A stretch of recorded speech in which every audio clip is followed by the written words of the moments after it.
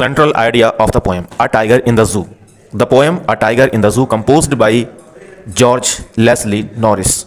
The poet conveys the message that it is cruel to keep wild animals in the small cell at the zoo.